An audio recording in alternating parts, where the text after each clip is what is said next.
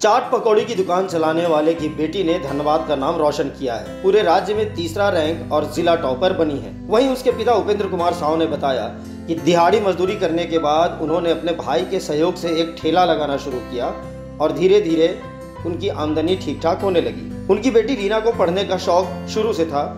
और उसके इस शौक को मेहनत मजदूरी कर उन्होंने पूरा किया। Reena Saint Xavier school Gadgi Tundi में पढ़ती है। रीना के पिता ने कहा कि उनका जीवन सफल हो गया। तो सोच रहे कि सर अगर इसी तरह उसको पढ़ा लेंगे तो कुछ काम करेगा नौकरी वोकरी प्रयास में तो है।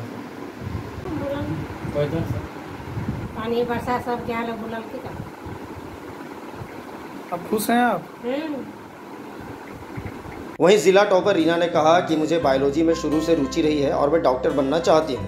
उन्होंने कहा कि पढ़ाई की तैयारी के लिए उन्होंने एक चार्ट बनाया था और उसी के हिसाब से वो पढ़ाई करती थी। उन्होंने इसका श्रेय अपने माता पिता और घर के बुज़ुर्गों को दिया है। रीना तुम स्टेट थर्ड टॉपर हुई है। भविष्य की क्या योज- योजनाएँ हैं? भविष्य के लिए तो सर अभी मेडिकल लाइन में अपना करियर बनाना है। अच्छा। आपका कहाँ घर हुआ? मेरा घर बहादुरपुर। टुंडी टुंडी पढ़ाई के लिए आप कितनी मेहनत करते हैं? हम तो अपना हमेशा ही हंड्रेड परसेंट देते हैं। कितना घंटा पढ़ते हैं? घंटे की बात किया जाए तो तीन से चार घंटा ही रेगुलर